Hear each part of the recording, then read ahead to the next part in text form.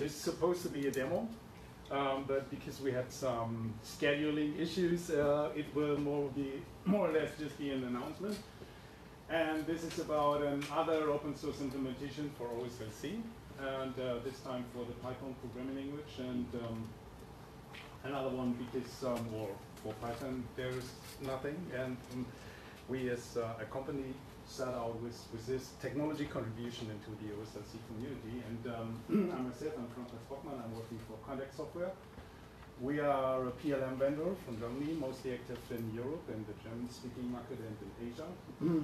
and uh, I will tell you, I give you very quick, I go over the marketing blurb. We have around 300 employees, 2,000 customer sites in more than 30 countries, and uh, 60 partners that work with our software. So we are also um, a white label PLM platform in a way. Um, there are companies that are using our technology to build their own data management information backbone systems.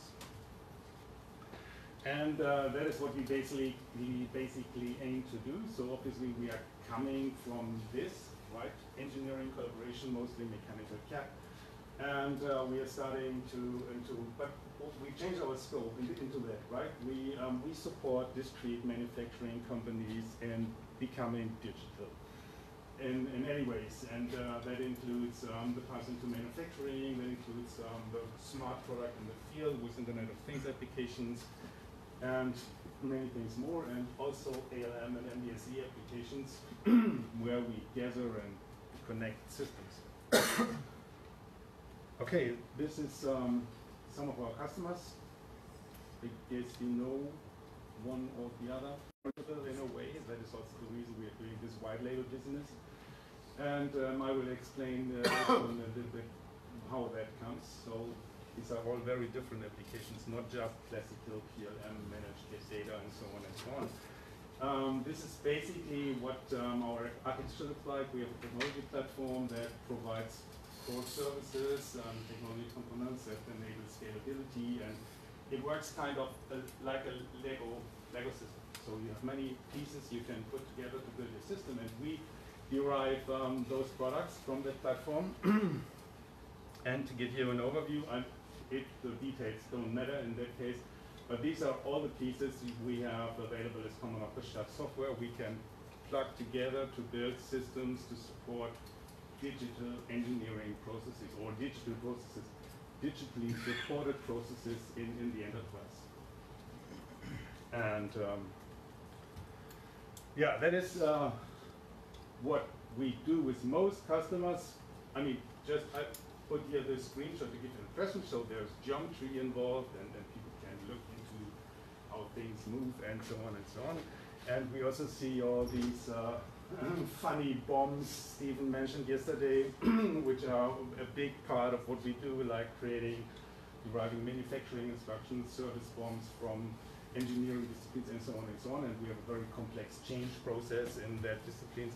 And the other thing we do lately for the last two, three years is um, connecting stuff that is physically there, running in the field, to our backbone system. So this, for example, is live sensor data from a machine like this. I don't even know. I think this is 3D printer, just a demo.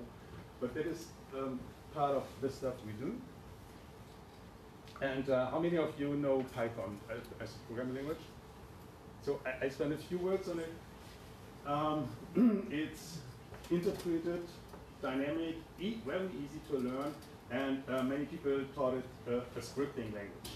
This is not really true. It's, it's much more than a scripting language. It's a, it's a full scale programming language. It's very popular. This is the TIOBE programming languages index, and uh, Python is on place four, just um, behind the big, the big ones um, or the big old ones.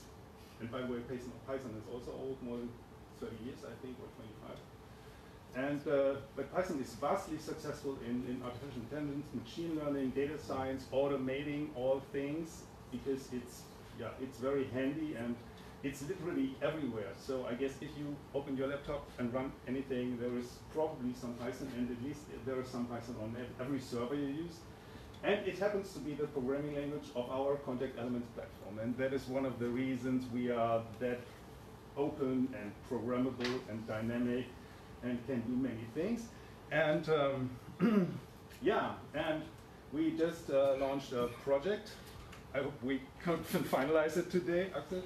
Um, we want to do, uh, we want to support OSLC as a uh, connector or interface thing um, to, to connect our system with others. And um, we will put part of that, um, make part of that open source. We are, we're doing this together with Koneksys. We are funding the development. It will be an open source project living on GitHub, MIT license, so everybody can use it. Um, it the, I will go into the use cases on the next slide.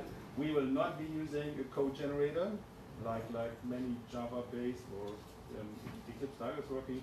And we will also probably provide an OSLC client-side SDK. And um, that is, yeah, not, not so interesting.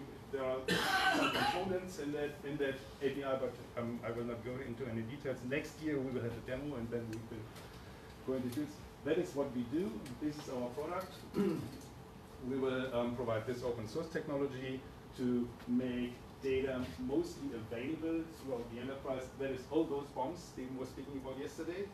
Um, 3D, that is we can provide previews, for example, of mechanical of parts of CAD models and uh, make it available to, to a requirements management system by, by linking to it and um, providing a preview to make it visible for someone. Um, we also have requirements in our platform.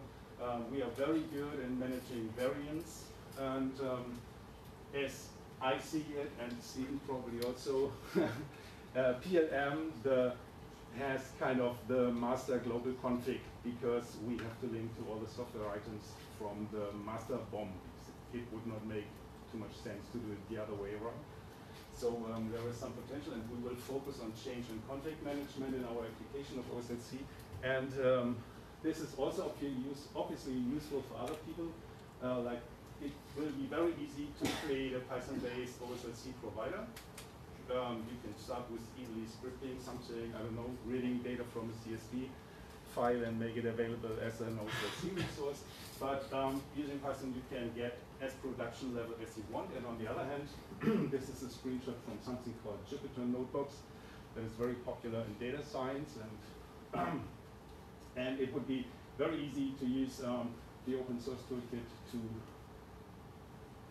get via using OSLC data into such a notebook to do things engineering related. So, and that's more or less it. Um, leave me your card and we'll let you know when we have the first bits available on GitHub if you want to play around with it. And just ask me any questions if you want to. I was fast enough. Wow, fantastic. Thank you, Frank. Uh, maybe we have time for like one more question. Uh, one question, maybe. yes, sir. Great to hear about an, another open source project. It's good to support. Like, I think that's what we're missing. Uh, will you going for core and domain and 3.0 or like where, we will go for core and then we will focus on config management and change management. Will you do this LDP like 3.0? Will you aim for it? Um, honestly, I don't know.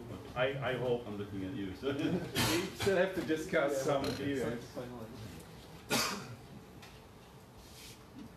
Yes. Um, do you have a, a timeline when the, the, um, the, software will be available? Yeah, we we hoped to have the software available by now, but um, we will. I think we will see some code in January, February.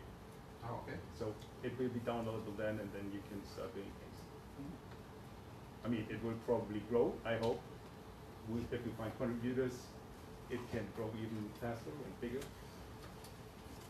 Okay, thank you. I think we should stop here. Uh, thank you again, Frank.